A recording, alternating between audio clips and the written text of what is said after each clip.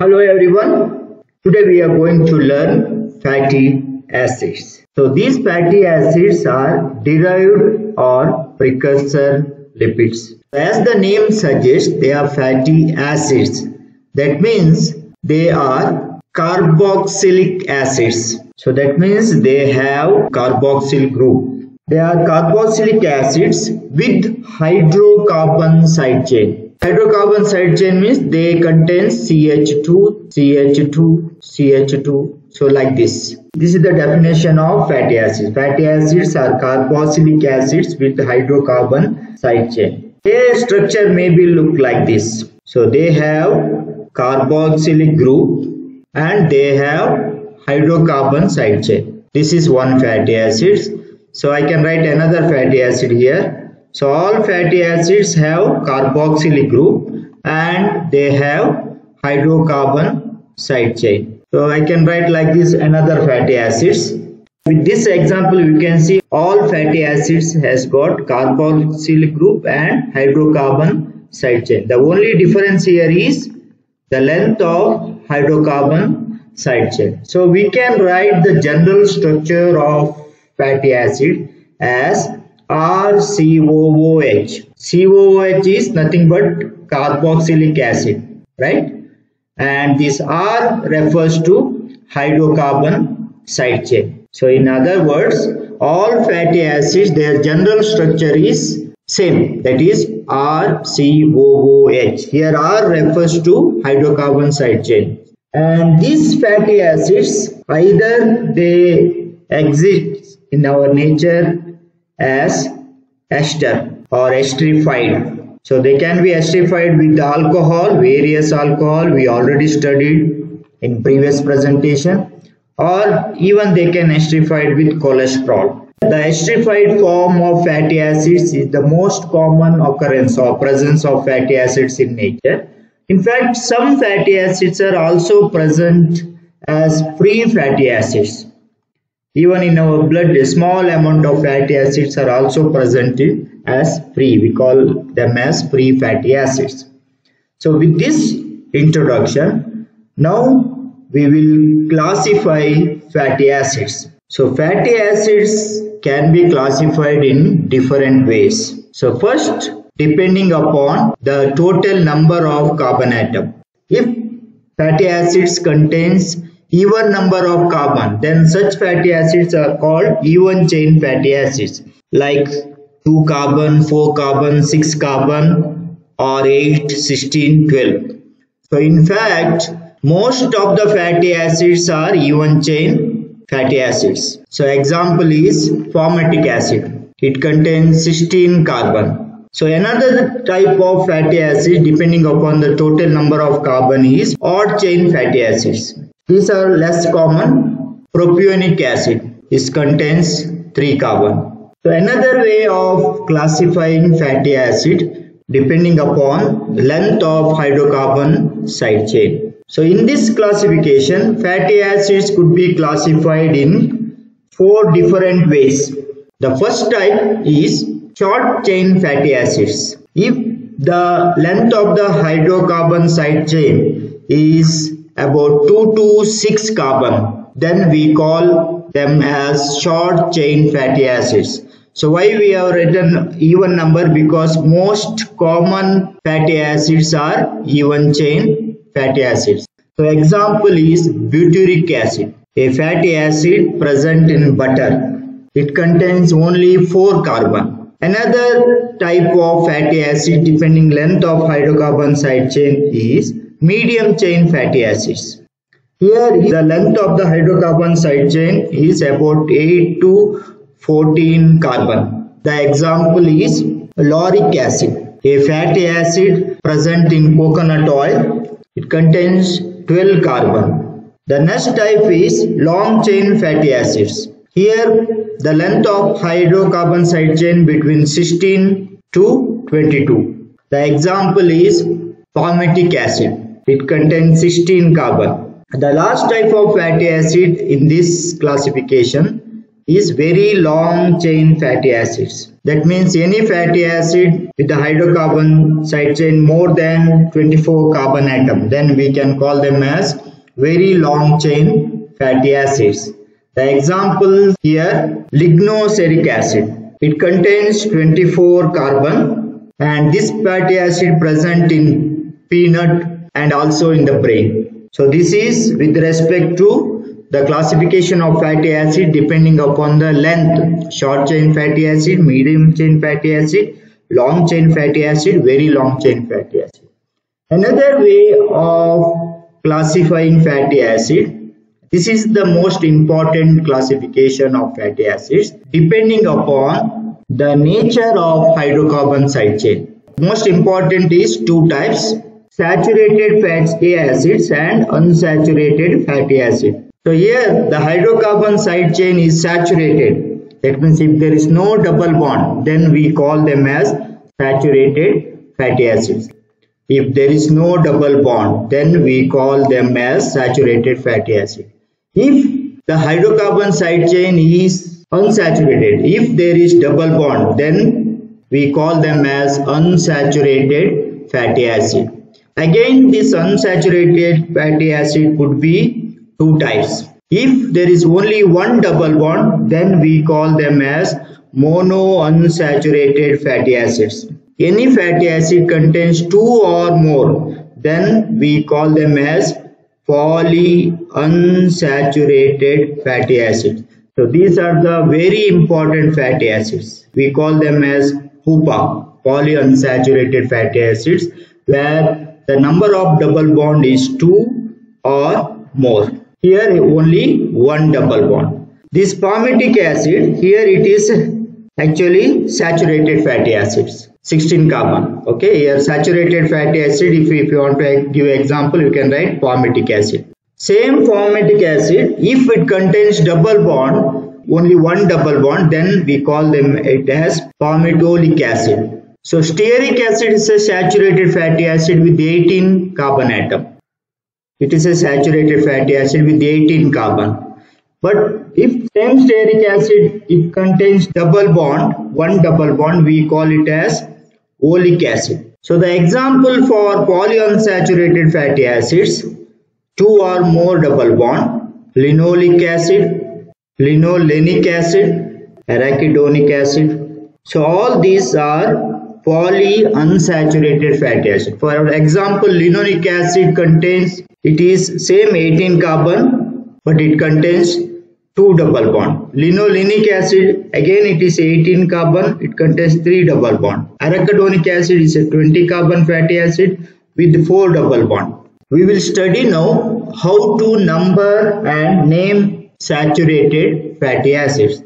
I have taken here a fatty acid with 16 carbon and name of the fatty acid is palmitic acid. So it contains 16 carbon and in right hand side we can see there is carboxyl group. So this is called carboxyl end and the carbon atom next to carboxyl end or the carbon number 2 is called alpha. This is alpha carbon and Carbon number 3 is called beta carbon and the last carbon is called omega carbon. Okay? And this end, the methyl group, this end is called methyl end. And you should know this saturated fatty acid, that means there is no double bond. And all saturated fatty acids, they have two names.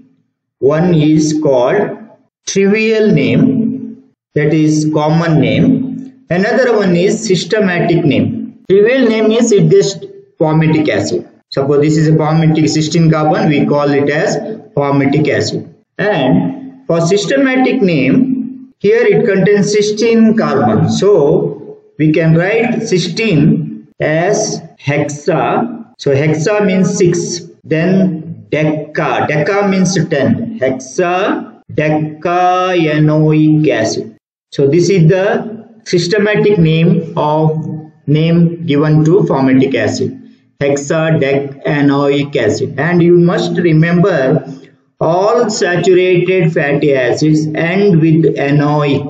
all saturated fatty acids in their systematic name they end with anoic acid. So I'll give another example.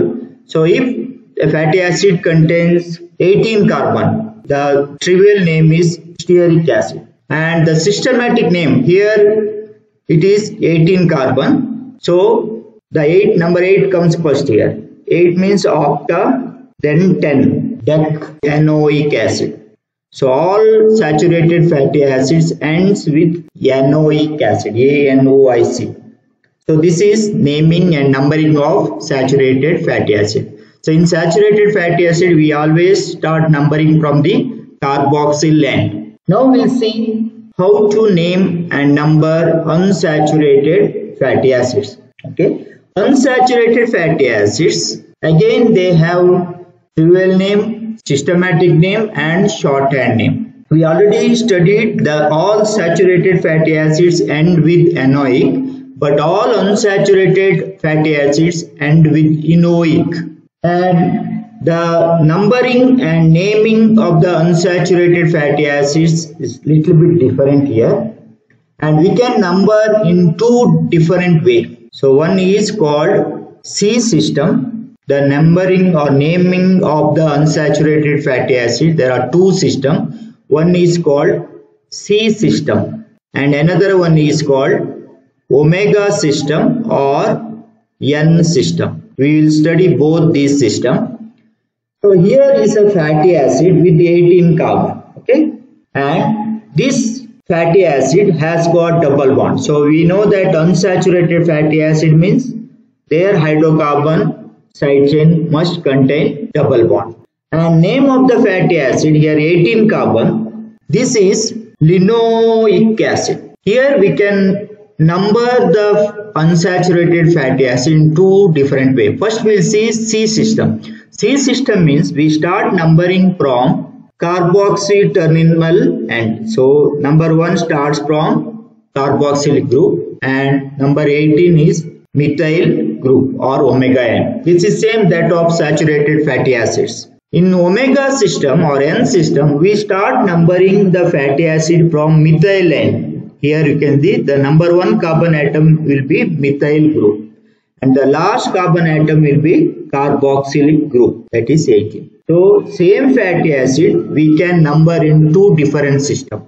C system where we start numbering from the carboxylic end or C terminal end and omega or n system we start numbering from omega end or methyl end omega carbon atom or methyl so why we adopt two system?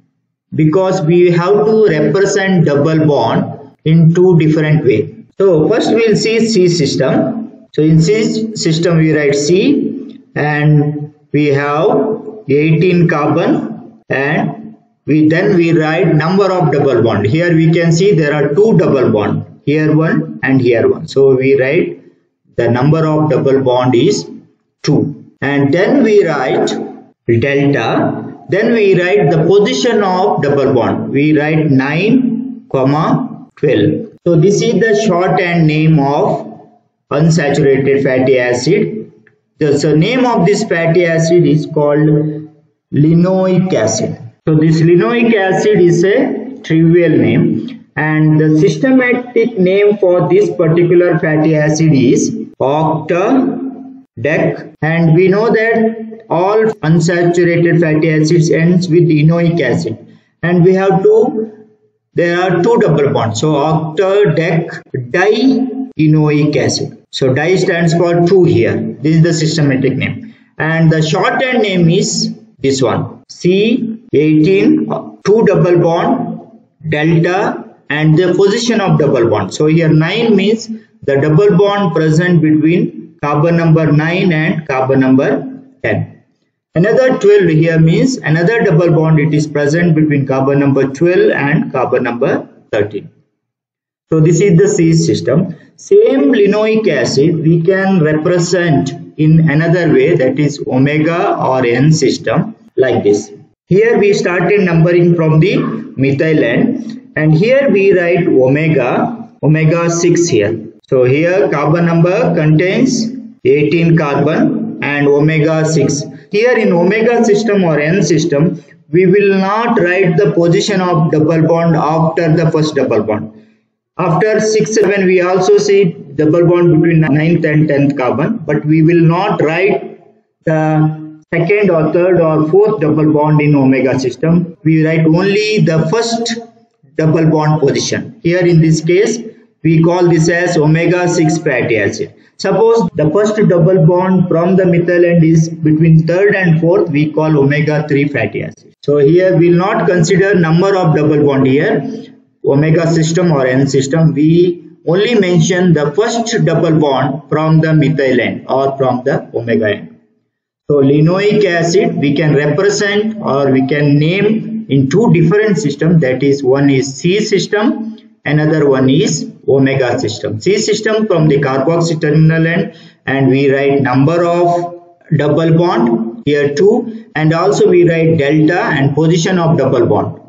Suppose linolenic acid it contains three double bond then we write C 18 three double bond then delta then 9 12 and 15 between 15 and 16 another double bond is there in case of linolenic acid. It also made up of 18 carbon. In omega system, we write only the first double bond from the methyl end.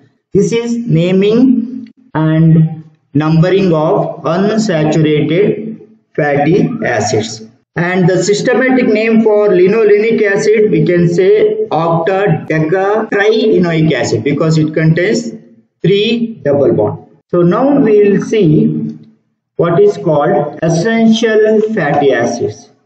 So essential fatty acids, they are not synthesized by the body.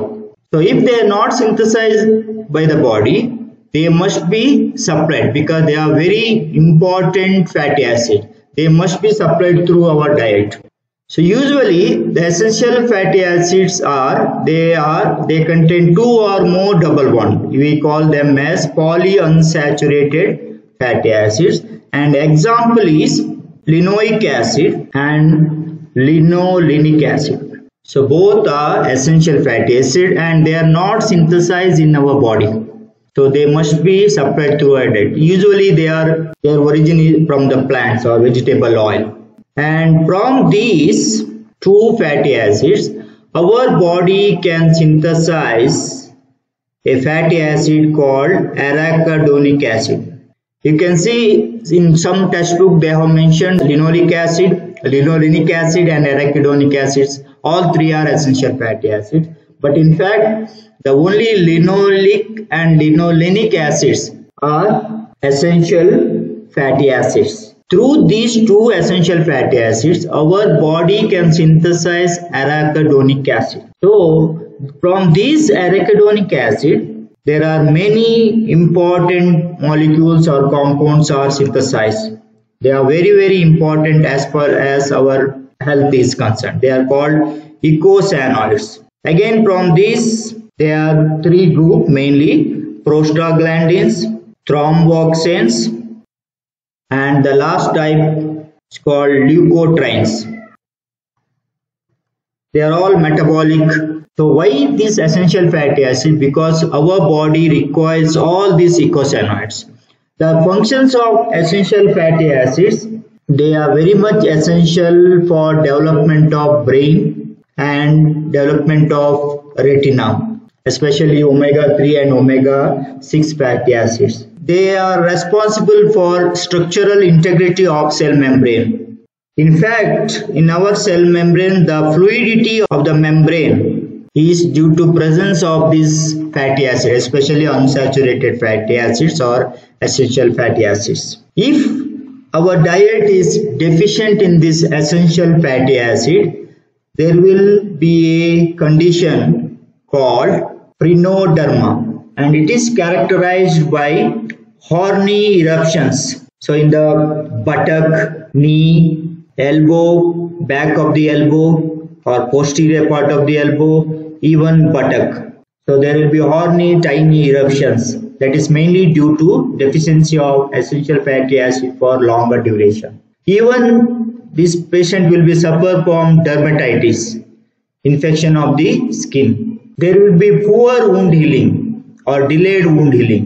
So this is mainly due to deficiency of essential fatty acid for a longer duration because they are very much important for synthesis of eicosanoids especially prostaglandins, leukotrienes and thromboxanes and development of brain and retina and also they are part and parcel of our cell membrane especially maintenance of fluidity of the membrane. So this is with respect to fatty acid structure classification and the nomenclature or naming and numbering of the fatty acids. Thanks for watching.